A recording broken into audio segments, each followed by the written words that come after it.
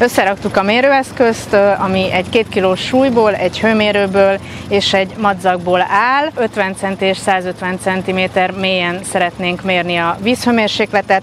Ezt, ezeket a pontokat be is jelöltük a madzagon. Az elmúlt napokban 25-26 fokos volt a Duna, vagyis alapból nagyon meleg. Azért jöttünk el Paksra, mert a Paksi atomerőműből kifolyó forró víz, ez tovább melegíti a Dunát, és van egy olyan jogszabályi határérték, hogy a kifolyó alatt 500 méterrel a folyó bármely pontja nem lehet melegebb, mint 30 fok. Pakson csónakot béreltünk, és a csónakból végeztünk méréseket. Bóják mellett bejöttünk a parton, hogy megnézzük, hogy itt hány fokos a Duna, és 50 cm-en kereken 31 fokos. Az Eszter bejebb ment, hogy 150 cm-re is le tudja ereszteni a hőmérőt, és azt mondta, hogy 150 cm-en 30,9 fok. 30,9 fokot mértünk itt a part közeli vizekben.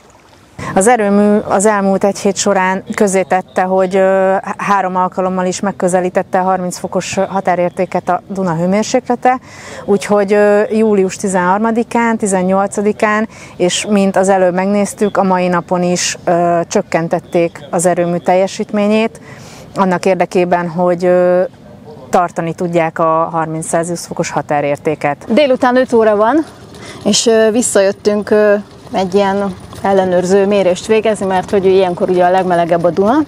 Azt tapasztaltuk, hogy a, a mérési pontnál 28 fokos a Duna 50 centinél, és most mindjárt megnézzük, hogy 150-nél ez mennyi. 150-nél pedig 27,6 fokot mutat, vagyis most már 5 pontosabban. Most kijebb jöttünk kicsit a part felé, hogy itt is megmérjük újra.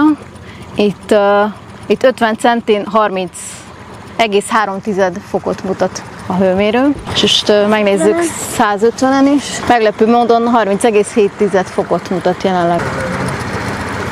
A kutatási adatok szerint az elmúlt 75 évben egyértelműen emelkedett a Duna átlaghőmérséklete, úgyhogy biztosan napirenden maradt továbbra is ez a probléma. Korábban nem fordult elő ilyen gyakran, hogy leterhelték az erőművet, amiatt, hogy tartani tudják a 30 Celsius fokos határértéket. A legaggasztóbb az egészben az, hogy annak ellenére mértünk 30 fokos hőmérsékletet a Dunán, hogy éppen azért csökkentették az erőmű teljesítményét, hogy ne 20-30 fok fölé a higanynak a szála, tehát ezek szerint ez egyelőre nem sikerült.